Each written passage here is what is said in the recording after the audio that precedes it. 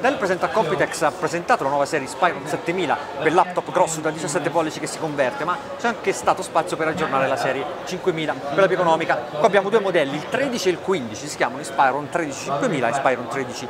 17, eh, Spyron 15 5000. Questo è il 13 pollici Full HD, la sua caratteristica migliore è la tastiera retroilluminata, ve lo dico subito, telaio in plastica, un buon touchpad in plastica, eh, fluido però, devo dire che è, che è molto fluido. Se lo converto a 360 gradi, in questo modo vedete quella che è la sua caratteristica,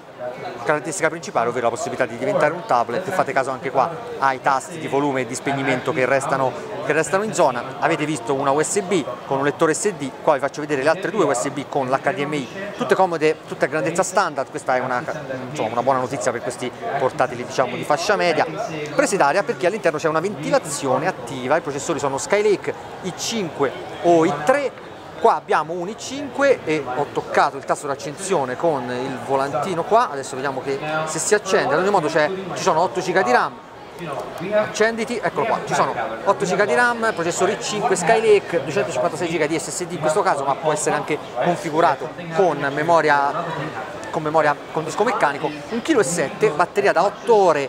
Ci sarà da tornarci. Prezzo per l'Europa, scusate, prezzo per gli Stati Uniti 529 dollari di partenza, poi bisognerà tornarci per vedere il prezzo europeo. Qua abbiamo la sua versione pompata, il qui un 15 pollici con processore sempre 5, sempre 8 GB di RAM, qua Pro c'è un disco meccanico da 1 tera, è un 15 pollici che in realtà mi sembrava un 17, ci sembrava un 17 quando l'abbiamo visto perché guardate quanto spazio c'è attorno alle cerniere, guardate che cornice grande che ha, pesa 2,2 kg, ha un, uno schermo da 13.3 che può essere anche configurato, se non ricordo male, con configurazioni QHD. Qui non c'è una tastiera retroilluminata ma potrebbe essere soltanto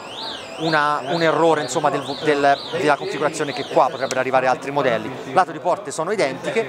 questa è praticamente una versione più grande dell'altro, insomma non c'è molto altro da dire, due USB, HDMI, qui i prezzi salgono un pochetto, sempre relativi e lo giro, è anche difficile girarlo, insomma una macchina così grande, difficile capire a cosa può servire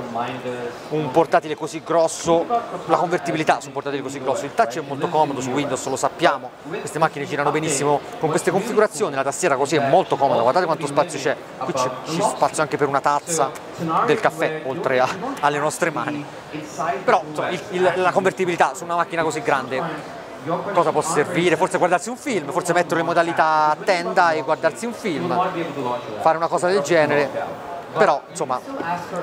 rende tutto un po' più pesante, un po' più goffo, quindi preferisco, ecco diciamo, facciamola breve, la versione da 13 pollici. Per maggiori informazioni su entrambi i prodotti non sono ancora stati ufficializzati in Europa, ma potrebbero arrivare insomma nelle prossime settimane. Vi lascio tutti i dettagli su hdblog.it e qua sotto in descrizione c'è il link per raggiungere direttamente la playlist del Compitex 2016. Qua siamo ancora al terzo giorno di fiera, ci manca altra roba da farvi vedere, quindi continuate a seguirci.